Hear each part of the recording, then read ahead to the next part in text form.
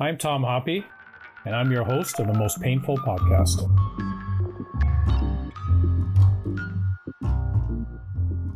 People who live with chronic pain suffer greatly, and it impacts their quality of life. There are many treatments available and medications that will help people with chronic pain. One of them that's been talked about over the many couple of years, I would say, is cannabis. But does cannabis actually work? Is it effective? Canadian veterans suffer from chronic pain twice that of the Canadian population. And the increase in cannabis among the veterans community has doubled or tripled in the last number of years. To help answer these questions, I'm joined by two guests Dr. Jason Busse, who's the Director of Research for the Chronic Pain Center of Excellence and has done a rapid recommendation. And then we also have Bruno Guevremont, who is a Afghan vet a life coach, a speaker, and is also consults to a number of organizations on cannabis and psychedelic use. Welcome to two of you. Thank you. Thank you for having us. So, cannabis, does it work? How much should a person use? Jason, you've done some research. Maybe you can just give us the highlights of that research. Yeah, we, we undertook a, what you called a rapid recommendation recently. Uh, there were two competing guidelines that had come out um, one from the UK NICE organization that made a strong recommendation against use of cannabis for chronic pain, and a position statement from the International Association for the Study of Pain that also came out against the use of cannabis. We took a look at the evidence, and what we found is there was reasonable evidence that cannabis uh, used therapeutically may benefit a minority of individuals with chronic pain. What do I mean by minority? It looks like, compared to placebo, about 1 in 10 individuals that try medicinal cannabis will experience an important benefit in pain relief. So it appears as if it might not work for many who try it, but there may be an appreciable minority for whom it will be effective. There are a lot of areas that we don't fully understand in terms of uh, the sort of you know optimal formulation, mechanism of use. Uh, but we do see some initial promising signal for, again, a minority of individuals who live with chronic pain. And so when I hear that, it sounds small group of people are are getting some positive effect out of it. So Bruno, when you're working with veterans or you're advising organizations on cannabis use, what are you seeing? Uh, is first of all, is do veterans know the proper way to use cannabis dosing, for example?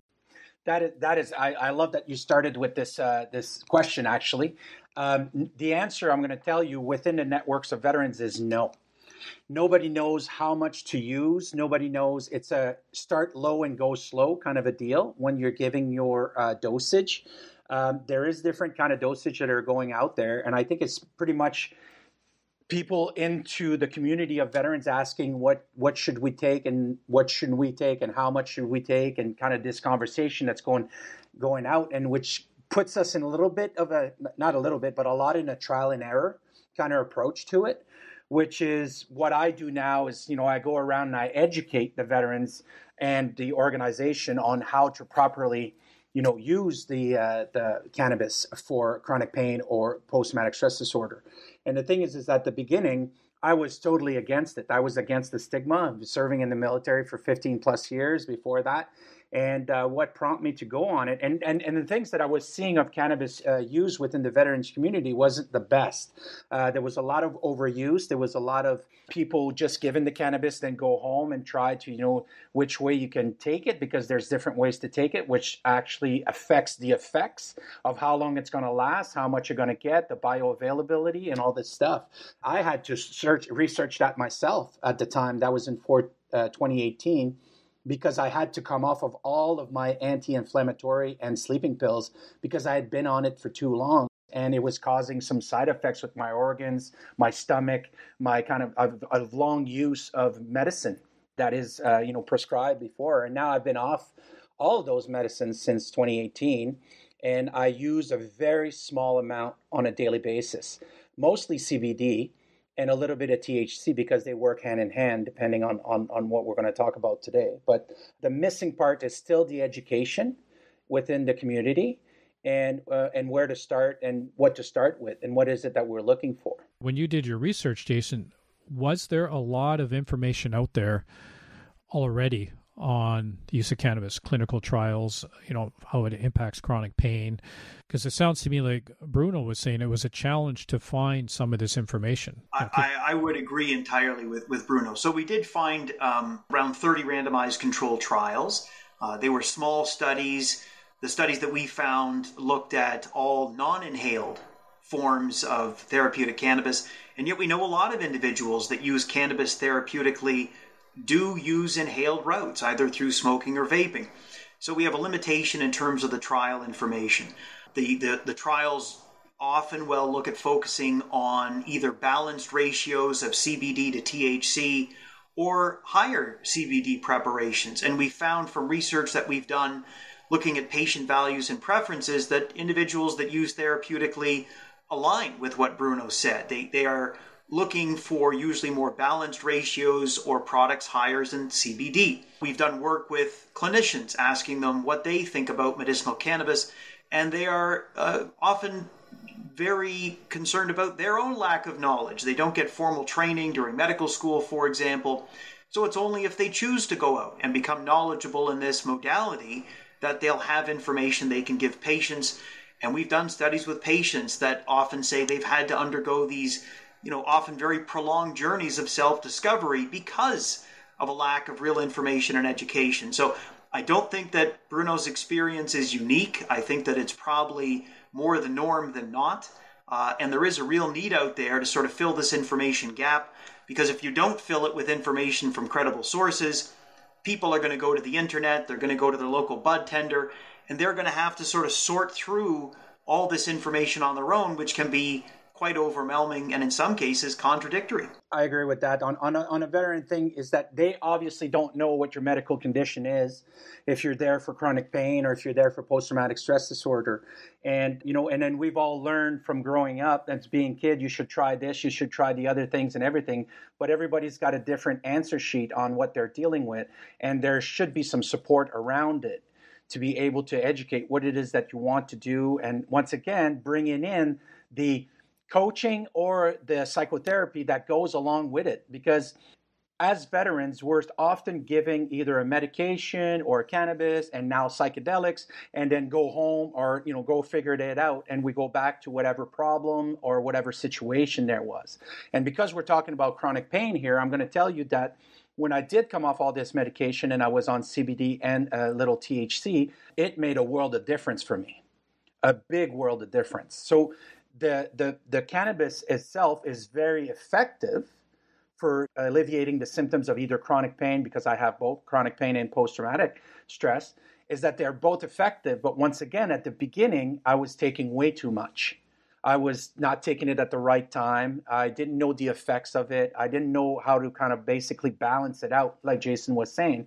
And I think that personally, myself, as who I am as a veteran and the research that I do on the internet and looking at uh, like Jason does and all these things is that it should have somewhere in the community of these doctors that are prescribing these medicines a PDF or a, a template of saying, hey, this is where you should start for chronic pain, and these are what you should use, and the difference in when you increase your dosage, like they do for any SSRIs, to tell you the truth, like they do with anything else that's dealing with mental health they tell you let's start at a low dose and then we'll increase and we'll increase and then we'll get to where that balanced dose is.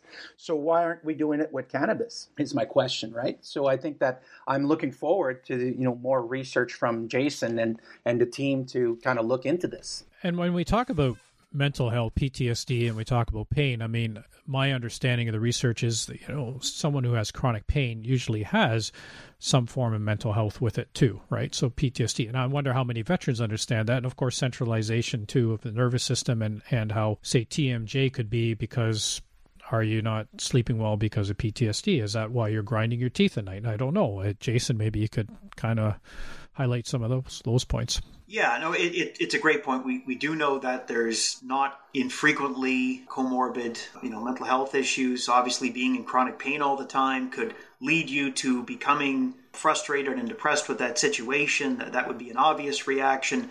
and it might go the other way, right? I mean, if you have PTSD, then you, you might develop habits or patterns that lead you more likely to develop different types of chronic pain.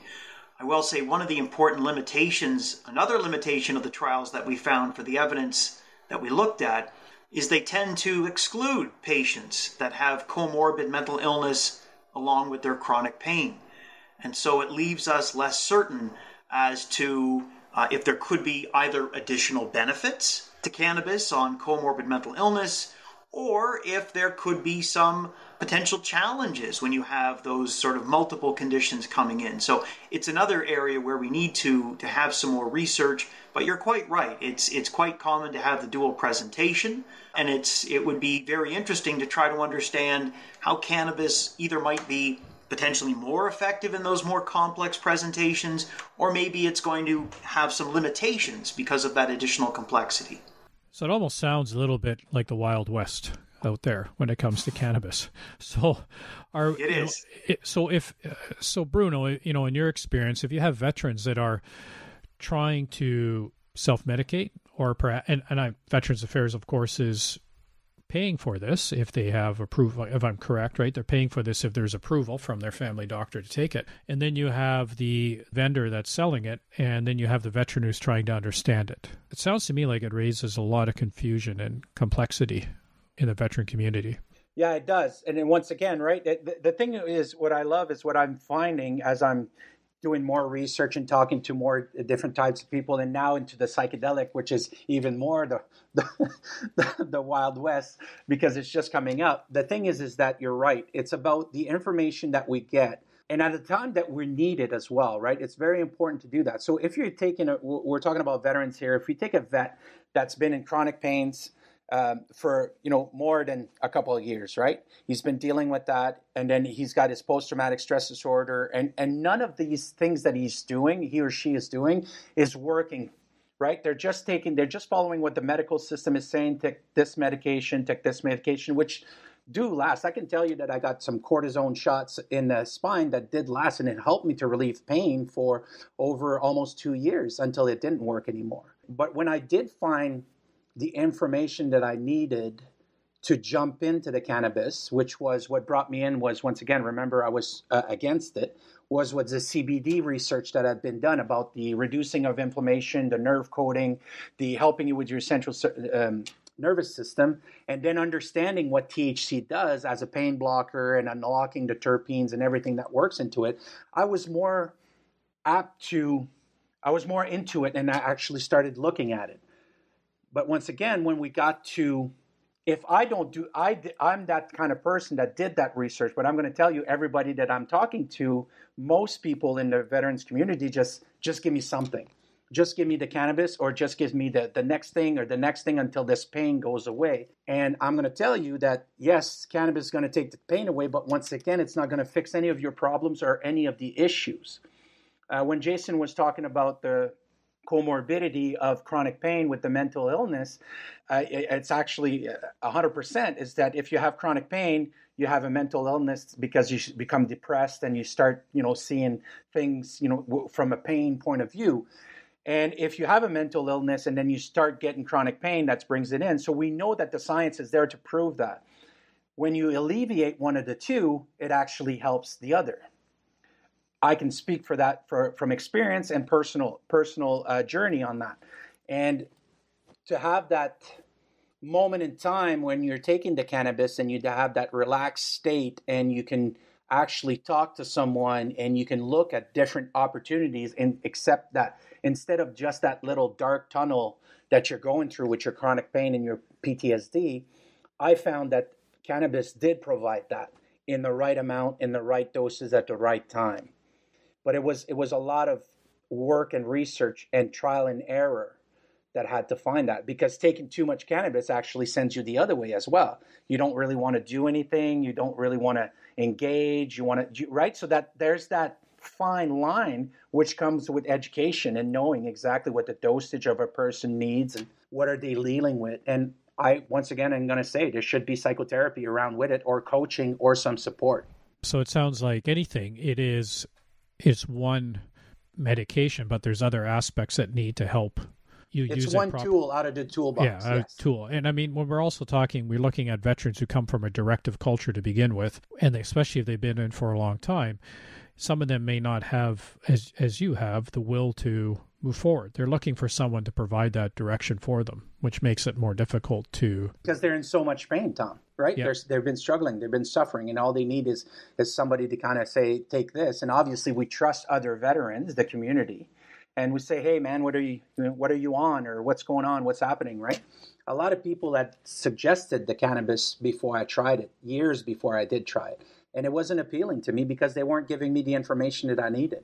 Right. If we look at that, is Jason, is there more research coming out? I know the Chronic Pain Center of Excellence, which for veterans is, you know, you've done the first step. Is there more? Is there going to be a deeper dive into it so that veterans have a place to go to look for information to kind of cut down the misinformation and also the challenges that Bruno went through to do all that research on his own? Absolutely. We have been uh, fortunate to be uh, funded by the federal agency in Canada, the Canadian Institutes for Health Research, uh, to undertake more comprehensive guidelines and then to actually do some very dedicated knowledge uh, transfer and implementation work following that. So um, we, we are uh, updating our guidance, we're expanding it. We expect that to be out later this calendar year. And we're then going to spend a number uh, of years working on disseminating the information, creating some of those information guidelines, pamphlets uh, for both patients and healthcare providers. So that work is coming. And there are a number of uh, trials that I know that are underway that are going to sort of add more to the knowledge that we have. The, the issue about drug substitution is a critical one. You know, this this very important issue that, that Bruno alluded to, you know, can cannabis actually allow people to come off other medications? All medications have potential benefits, but they also have potential harms. Uh, so if we can reduce reliance on some products, that that, that that's that, that's desirable. And again, there's some initial evidence to suggest that that might be true. We need more information on it, but this this is coming. Uh, and it's frustrating to those who want answers now. I understand that, but we are going to have better information later this year, and I think there's there's a real groundswell to sort of get this out there now because, um, as you both alluded to, there's lots and lots of veterans that are using these products, and it's simply not responsible to have that happen with an absence of evidence and an absence of guidance. I mean, this research and, and that you're doing, Jason, the work you're doing, Bruno, and the veterans community, I guess this is easily translated into the civilian side as well, too, right? P- people using, I mean, they could read the research that would help them as well, and your knowledge as well, too, right, Bruno, that, that you're doing. Yeah, because when when they made cannabis legal in Canada, you know, everybody thought that everybody would be, you know, part, partaking in. But I think that uh, once again, there was a lot of information missing around the, the dosage, and then you you do you, you they're called bud tenders when you go into a uh, private store that they have in any of the provinces across Canada, and they're going to tell you to the best of their knowledge you know what strain it is, what it does, the kind of like things you might look for. But once again, they're not medical professional or scientists or uh, chemist or anything like that. They're just the people that kind of by experience what they know. And it would be good to have information for people that are struggling with mental health or chronic pain of saying, okay, let's start here. And it's uh, with researchers like uh, Jason does and with the Chronic Pain Center of Excellence, what they do, that we'll get to those um, to those answers. And I think that uh, um, a well-informed public, a well-informed community, is going to be able to help each other and to deal better with chronic pain and, and mental health actually and what to use And and the clinicians as well, right? Clinicians and Yes. researchers and understand point. all practitioners yes Yeah. Well, thank you. I'd like to thank the both of you, Jason and Bruno, for attending uh, this podcast. We could talk about this for probably another hour easily. There's just so much information, and we're going to have the both of you back when we talk about psychedelics. I think that'll be the very interesting one, as you said, Bruno. And uh, it's you know it's starting up, and it's people are probably interested in what's going on. So I thank you both for your time for attending the show. And uh, for our listeners, uh, if you want more information, go to the Chronic Pain Center of Excellence. And uh, the research that Jason has worked on is on the site, I believe, so people can read to that. So thank you very much. Thank you Thank you. Great to be on with you. thank you tom The Most Painful Podcast is produced for the Chronic Pain Center of Excellence by Story Studio Network and Eye Contact Productions.